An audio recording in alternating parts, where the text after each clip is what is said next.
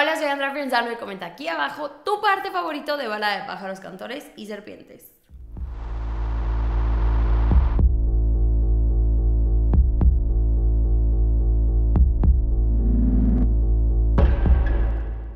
Hace unos días publiqué el video de todo lo que tenías que saber para ver La bala de pájaros, cantores y serpientes, la precuela de los Juegos del Hambre, que sigue a Coriolanus Snow. Y les dije en el video que aunque consideraba que no había incluido casi spoilers, y algunos sí, eh, les iba a hacer un video con spoilers hablando más a fondo de las cosas que me gustaban y no me gustaban de la película y cosas que me hubieran gustado que aparecieran de los libros. Así que para eso es este video, para hablar de esas cosas que yo personalmente disfruté o tal vez me hubiera gustado ver mejor explicadas en la peli. Así que ahora sí, advertidísimos están, vamos a hablar con spoilers. Bala de pájaros, cantores y serpientes y su historia desde antes de estrenarse porque, pues, antes de que se levantara la huelga, los actores ya tenían permiso para postear en redes sociales y ya luego se levantó la huelga dándoles completa libertad. Y no sé si han estado al pendiente, pero tanto Lionsgate como la cuenta oficial de la película, como sobre todo Rachel Zegler, han estado haciendo muchísima promoción en redes sociales y hemos tenido detrás de cámaras y hemos tenido también eh, fotos exclusivas de la película. Y la verdad, como alguien que se dedica a redes sociales y que pues diario interactúa con ellas,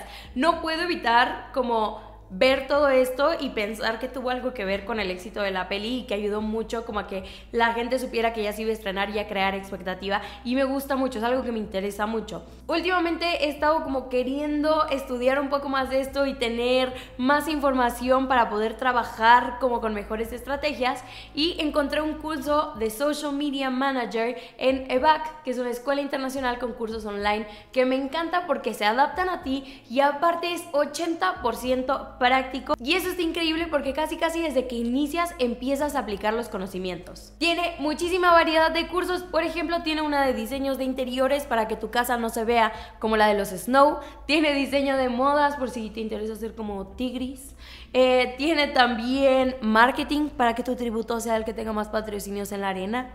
Es broma, pero la verdad es que sí tiene uno de marketing digital que está súper interesante y yo estoy muy emocionada. Ya empecé el de Social Media Manager, entonces les voy a estar contando cómo me va. Y si a ustedes les interesa, tengo un código que se los voy a dejar aquí escrito en la pantalla para que lo puedan usar, que les da mil pesos de descuento en el curso que ustedes quieran. Les dejo también el link en la descripción para que de verdad si les llama la atención lo chequen porque está muy cool. Ya les había dicho que la peli me gustó mucho, la disfruté mucho, la verdad es que considero que es una muy buena adaptación. Hay cosas del inicio del libro y sobre todo del final del libro que pasan muy rápido, o sea, sobre todo para mí lo más apresurado fue el tercer acto y siento que se pierden algunas cosas importantes. Y al inicio las cosas van muy rápido. O sea, como que tenemos muy poca introducción y yo siento que el libro tiene más introducción, pero entiendo por qué lo hicieron así para condensar la historia y quedarse con la parte más interesante, que en este caso serían los juegos, aparte de que son los que literalmente pues le dan el nombre a la saga, ¿no? Los Juegos del Hambre. Como les dije, para mí mi favorito, ya la volví a ver y mi favorito vuelve a ser Tom Blythe. Me encanta como Coriolanus Snow. Creo que transmiten muy bien al personaje, lo que piensa, como su comportamiento y también ayuda un poco ese cambio visual que vamos teniendo con el personaje, de pasar de el chavo, ya saben, con el saco rojo, con el uniforme, con los chinitos, a el peacekeeper ya todo rapado y luego al final como ya todo ese peinado, con el saco rojo más parecido al que tenía Donald Sutherland en la primera película, como que siento que tenemos ya algo este, más similar al presidente Snow como lo conocemos. Solo tengo un problema, y creo que ya había hablado de esto, sobre todo hablando de Katniss. Eh, en los otros libros, Susan Collins escribe desde el punto de vista de su personaje principal. En el caso de los Juegos del Hambre, siempre es desde el punto de vista de Katniss. En el caso de este, Bala de Pájaros Cantores, es desde la perspectiva de Coriolanus Snow. Y muchas veces hay cosas que siento que se pierden a la hora de adaptar al guion. Porque Ambos libros, eh, en el caso de Balada de Pájaros Cantores y Sin Sajo, considero que son libros que exploran mucho la psicología de su personaje. Y sé que, por ejemplo, en el caso de Sin Sajo, muchas personas les faltó ver un poco de todas las crisis mentales que está teniendo Katniss. A mí me pasó algo similar con este personaje. Creo que muchas cosas, muchas de las maquinaciones, muchas de las ideas, de las estrategias de Coriolanus nacen en su cabeza y tú como lector las, las lees en la página, ¿no? Y de repente como traducirlas a la pantalla es un poco más complicado porque pues no lo puedes traducir con una notita o con una conversación como en el caso de Katniss porque no manches, sonaría como la peor persona del mundo Coriolanus hablando esto en voz alta, ¿no? Entonces, para mí eso es lo que falta un poquito como el entender la motivación del personaje porque considero que mucha gente fue como, es que Coriolanus Snow vemos como poco a poco se vuelve malo y si es malo vamos, o sea, sí es malo, pero tiene mucho que ver el contexto en el que creció y que es una persona muy egoísta, que más que ser mala, yo realmente creo que es egoísta, pero está muy concentrada en como ganar él y hacer que eh, trascienda su legado. No sé si me explico, o sea, sí, sí, a lo que voy es, es un villano muy bien hecho porque no es un villano malo de, de, ay, soy malo y ya me corre casi casi maldad por las venas, sino que vamos viendo que es un villano que estaba muy motivado por como sus aspiraciones, sus eh, ideales personales y las cosas con las que lo educaron, literalmente. Porque lo educaron, o sea, porque lo educó, imagínense, su abuela, que para ella todo era como, no, y el Capitolio, y el Capitolio es lo máximo, y los distritos casi, casi, y nosotros somos los Snow y somos lo máximo y hay que cuidar nuestro legado. Entonces, cuando vas entendiendo eso del personaje, se vuelve mucho más interesante ver cómo va tomando decisiones, no tanto como para joder al otro, sino para protegerse él y siempre quedar de la mejor manera. Mi mejor ejemplo de que es egoísta, siento que es con Tigris, y no tanto con, con, lo que pasó con Tigris al final, que debe de haber pasado algo terrible para que llegue a ser el personaje que conocemos en Sinsajo, sino más bien como, eh, según yo en la peli no pasa, pero en el libro tiene una conversación que le dice como todos hemos hecho cosas deshonrosas para sobrevivir. Tigris está defendiendo a Lucy Gray de una cosa y Coriolanus piensa como qué cosas deshonrosas ha hecho y él siempre ha sospechado que su prima en algún momento tuvo como que venderse para conseguirles comida y para mantenerlo vivo. Y en lugar de pensar como, güey, es humana lo que tuvo que hacer, qué, qué agradecido estoy con ella por todo lo que tuvo que hacer para protegerme, es como, prefiero no pensar en ella, en que deshonró el nombre Snow, casi casi, y no voy a pensar en eso porque me asquea. Y es como, tú, tan fácil que sería decir, es humana y tuvo que hacer cosas de las que no se enorgullece y yo también, y pues ni modo. Es como, mm, mm, mm. no, no, no, no, no. ¿Cómo, ¿Cómo vas a permitir que eso manche mi idea de ti? Y tú así, ¿qué? Yo siento que es una persona que vive en su burbuja y que por lo, lo mismo es egoísta. Lo mismo pasa con Sellanus, es como, es que traicionó a su mejor amigo. Muchos me decían, ¿cómo traicionó a Sellanus si eran amigos? Pero es que todo el tiempo en el libro te dicen que no son amigos. De hecho, todo el tiempo él te debe entender que Sejanus no es como, mmm, como que le encante, pero pues le interesa mantener un poco la amistad porque Strabo Plins, el papá de Sejanus, pues tiene mucho dinero. Pero de todos modos, Coriolanus lo resiente muchísimo porque siente que ese dinero que ellos tienen por haber trabajado con municiones y así en el 2, debería de ser suyo porque es lo mismo que tenía su familia en el Distrito 3. Entonces, resiente esto y sí los ve de poco más o menos eh, por ser de los distritos, ¿no? De hecho, se burlan de Sellanus por cómo le dice a su mamá, porque no le dice mamá, le dice ma. Y se burlan muchísimo de eso. Y al final, o sea, de que en el libro Coriolanus acaba casi casi siendo el hijo adoptivo de los Plins porque fue el mejor amigo de su hijo y le acaba diciendo ma a la mamá de Sejanus, ¿no? O sea, para que se den una idea como de el egoísmo de cómo sus acciones para salir adelante lo llevaban a hacer cosas muy cuestionables. Pero bueno, a la verdad es que todo el tiempo se pregunta de que, güey, ¿por qué lo sigo salvando si ni siquiera me cae tan bien? ¿Por qué lo sigo salvando? Y sí se alegra cuando llega al 12, pero en cuanto ve que lo puede meter en problemas, empieza a pensar que cómo le va a hacer para que no lo meten problemas. Y mucha gente me decía, es que, es que se vuelve malo cuando lo delata. Yo sinceramente creo que es de las pocas cosas que Snow se arrepiente el haber hecho que Sejanus terminara de que en el árbol del ahorcado, porque mm, en una parte le dice como, de todos modos, hagas lo que hagas, tu papá va a pagar como tu perdón y te va a sacar de aquí. Entonces yo creo que Coriolanus sí quería quedar bien con la doctora Gold, pero su como meta final era que supieran los papás de Sellanus eso, pagaran para que lo sacaran de ahí y a él no lo metiera ningún problema y pues ponerse la estrellita de que lo estaba casi casi cuidando y que lo ayudaran también ahí a él para salir del distrito 12 o regresar al Capitolio o pagarle la universidad o lo que sea y se le sale de las manos y yo creo que él por aquí ni le pasa que esté poniendo en peligro la vida de Sellano. Sí lo está poniendo en peligro, sí lo va a regañar su papá, sí puede ser que tenga repercusiones, pero yo creo que nunca se imagina que va a tener esa repercusión y solo por eso se arrepiente. No siento que sea como, ay, se los entregó, sino más bien creyó que el papá de Sellanos iba a hacer algo al respecto y pues no. Chance ni le dieron tiempo al papá de rezongar, ¿no? Eh, pero es mi mismo punto, es, egoísmo, es no quiero que me pase algo malo por el simple hecho de que me asocien contigo, entonces me adelanto, te echo de cabeza y te afecto en el proceso sin importarme porque yo ya salí de que me lavé las manitas. Y lo mismo pasa con Lucy Gray, de que uno más uno son dos, me vas a poner en peligro, entonces sabes que antes de que me pongas en peligro, pues yo tomo acción. Hubo varias cosas de la película que me gustaron, que según yo no salen en los libros. Hay dos en particular. La primera es el guiño a Katniss. Eh, no cuando dicen lo de la planta, sino cuando Coriolanus entra a la arena a salvar a Sejanus.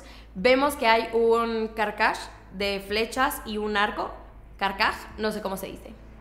Pero bueno, hay un coso con flechas y un arco en la cornucopia sin haberlo tocado. La cornucopia me gustó mucho. Francis Lawrence ya dijo que le gusta pensar que algo así fue lo que inspiró a tener después la cornucopia en los Juegos del Hambre más adelante, entonces que por eso decidieron hacerla como para que las, pues como todas las ruinas asemejaran un poco a la cornucopia. Y creo que mi parte favorita, eh, que no está en el libro, es la de los drones. Sí sabemos que es la primera vez que se van a usar drones para enviar agua, comida y así, pero yo no me acuerdo que en el libro fuera como tan complicado. Y aquí siento que al principio fue como, güey, ¿por qué no funcionan los drones? Y cuando tenemos esta escena que a Lucy la van a atacar y empieza a mandar agua, es como, ¡Oh! ya vi lo que está haciendo. Los drones no sirven al 100%, lo cual pues sería un poco anticipable porque era la primera vez que lo hacían. Y cuando le dicen como, oye, no le puedes hacer nada a los tributos, dice como, yo solo estaba mandando agua, que siento que nos muestra la manera en que es súper buena estratega. O sea, él funciona siempre con estrategias, entonces eso me gusta y creo que te muestra cómo todo el tiempo está pensando en ganar, en ganar, en ganar, en no me importa cómo lo afecte, no estoy haciendo trampa. En el libro muchas veces como, eh, estaré haciendo, estaré rompiendo las reglas y es como, no, porque no me dijeron que no podía hacerlo. Entonces, ese tipo de cosas me gusta mucho porque siento que te muestran cómo el personaje está pensando eh, como un paso más adelante. Entonces, esto de los drones me gustó mucho, se me hizo muy original. También siento que hicieron Snow menos malo, como que siento que en general le bajaron una rayita a todo, pero Snow lo hicieron menos malo. Y también siento que Lucy Gray le hicieron más inocente. O sea, como que de repente tienes momentos que Snow se siente hasta bonachón, pero Lucy Gray siento que le hicieron como toda, ay, yo, toda bonita. O sea, con todo y que le mete la serpiente a la otra, siento que es como, ay, hay que defenderla. Y, la verdad es que en el libro es más canijita. La verdad sí es más canijilla. De hecho, cuando sueltan las serpientes en el libro, se da cuenta que no le hacen nada y pues las empieza literalmente a usar. O sea, les empieza a cantar para que estén tranquilas. Y en eso Trich, que en la película es al que envenena con los polvos que le caen desde arriba, eh, la va a atacar y ella se le lanza y él se da cuenta muy tarde que le puso una serpiente. Igual que como se lo hizo a Mayfair. Entonces es más canijilla. Y a Reaper, ella es la responsable. No le llegan las serpientes, ella es la responsable. A Reaper le da rabia porque él súper sensato decide disculparse con todo el mundo eh, en la jaula del museo, o sea, con todos los tributos en la jaula del museo, un día antes de entrar a la arena, de que, ay, pues una disculpa que los voy a tener que matar. Eh, me da mucha pena, pero pues no se preocupen, yo me voy a vengar del Capitolio ya que gane. Y todo el mundo está como, ¿eh? Y Jessop se enoja, se para y le escupe en el ojo y entonces le contagia la rabia. Y como Lucy Gray ya sospecha o ya sabe que le contagió la rabia, envenena un charco de agua y Reaper le toma y pues muere envenenado y así es como gana los juegos, Lucy. Entonces siento que aquí la ponen como, ay, todo fue responsabilidad de Snow que ganara porque ella es un alma inocente. Y es como, no, de hecho él le da la polvera vacía y, le sugiere, le sugiere así como, tal vez podrías ponerle algo que te ayude dentro de la arena y el veneno de rata estaba dentro de la jaula del zoológico. Eh, pero no es como que, ay, ella sea la inocente palomita que se dejó manipular por él, no, también es, es canijilla.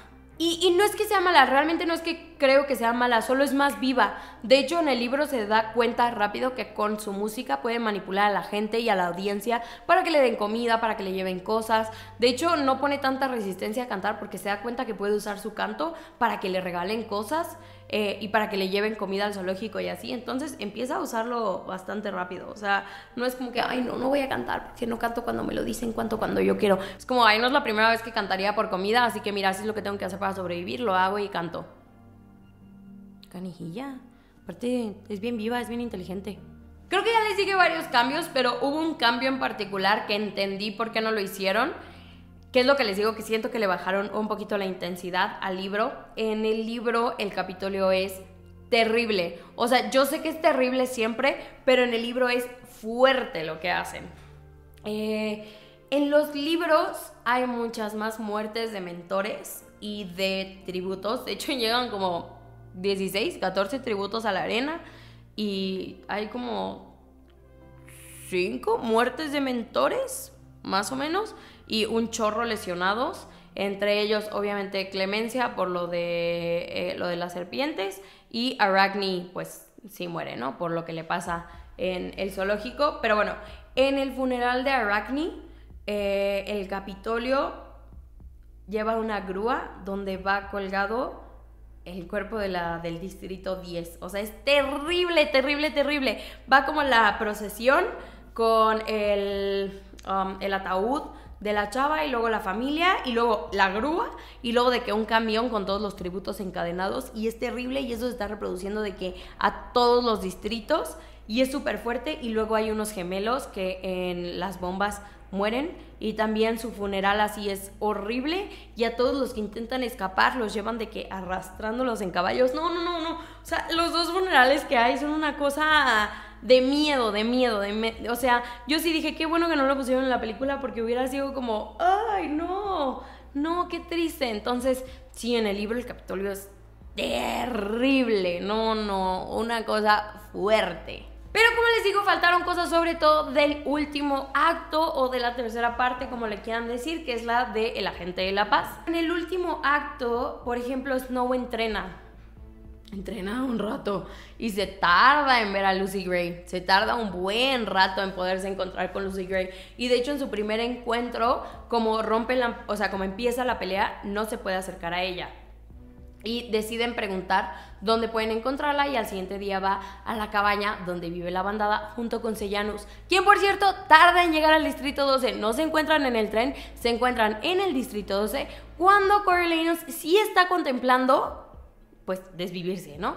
Eh, y bueno, van, conocen a la bandada y con la bandada conviven mucho, que siento que eso faltó. O sea, nos quitaron la oportunidad de conocer a Barb, a, a Barb Azur, a Maud Ivory. O sea, como que siento que tuvimos muy pocas escenas donde pudiéramos como crear una conexión con ellos. Y he visto mucho la teoría de que Lucy Gray podría ser abuela de Katniss y sinceramente hay otra teoría que dice que más bien podría ser o Maud Ivory o Barb Azur y se me hace como mucho más posible. Barb te dicen en un momento que está saliendo con un chico de la beta, por ejemplo. Maud Ivory se me hace todavía más posible porque era más joven, entonces hubiera sido mamá más adelante y podría ser la abuela de Katniss.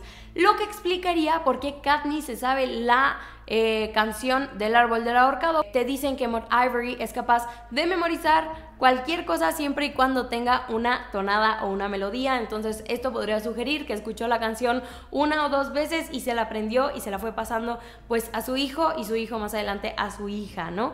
O bueno, yo así lo veo y creo que es como la teoría más posible que haya sido la abuela de Katniss. Y creo que lo que más me dolió que no pusieron del libro es que Lucy usa una frase, una frase bien importante, que dice, esto no se acaba hasta que el sinsajo canta, o algo así. Y se le dice, por ejemplo, a Reaper cuando Reaper les dice de ay, pues perdón, porque pues, los voy a tener que matar mañana. Le dice como, esto no se acaba hasta que el sinsajo canta. Y cuando se lo cuenta Snow, Snow es como, ay, tú y tus frases.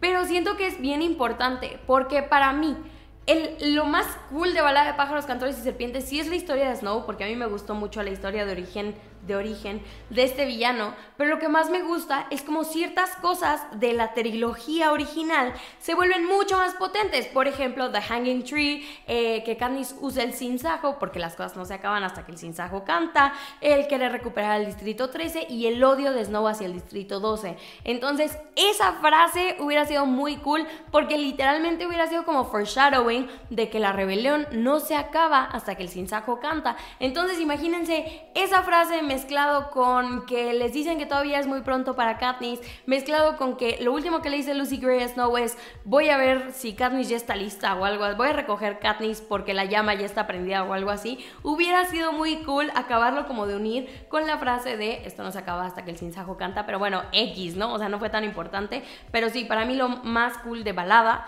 es como cómo cambia la trilogía original para nosotros y ahora regresar a verla es como, ¡Oh, ¡qué intenso! Pero bueno, la peli me gustó, la disfruté muchísimo, es una película y un universo que disfruto mucho, ya la vi dos veces, eh, leí el libro dos veces. Si están todavía como debatiendo si leer el libro, yo les recomendaría leer el libro. Aún así considero que la peli es una gran adaptación, más allá de que hayan acortado la última parte, entiendo que acortaron el último acto porque de repente es un poquito aburrido y a lo mejor hacerlo más largo hubiera sido complicado porque ya acabaste los juegos, que era como la parte cumbre de la película, eh, cómo mantienes entretenido al espectador y si algo le reconozco bien cabrón esta película es que desde el segundo uno te tiene pegado a la pantalla y por lo menos a mí y a gente con la que he ido no te suelta y eso me gustó mucho. Así que cuéntenme ustedes qué opinan de la película, qué opinan de La bala de pájaros, cantores y serpientes, si leyeron el libro, si no leyeron el libro. Eh, estén al pendiente de mis otras redes sociales porque voy a estar subiendo otras informaciones, teorías y así que me han salido eh, a otras redes que les dejo aquí abajo y lo más seguro es que también las suba a shorts, así que estén al pendiente aquí también. Muchísimas gracias por estar aquí. No olviden suscribirse, activar la campanita para que no se pierdan de nada. Compartir con sus videos fans, con, compartir los videos con sus amigos fans de los Juegos del Hambre. Les mando un beso enorme. Muchísimas gracias por compartir conmigo este fanatismo por esta saga y nos vemos muy pronto. Bye. En, un video, creo que en el de Catching Fire, todo el tiempo les, dice, les dije Peacemakers y son Peace Keepers. Peacemaker es de DC, según yo, o al revés. Pero bueno, todo el tiempo lo dije mal.